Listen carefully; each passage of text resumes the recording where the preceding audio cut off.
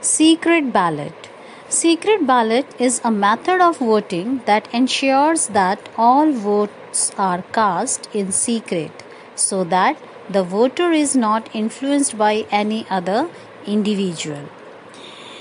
It should remain a secret even after voting, and that is possible only through a secret ballot.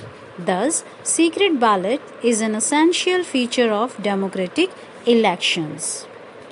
Pre printed ballot papers and electronic voting machines are commonly used in elections. And you know, children, the secret ballot was first introduced in Australia in 1856.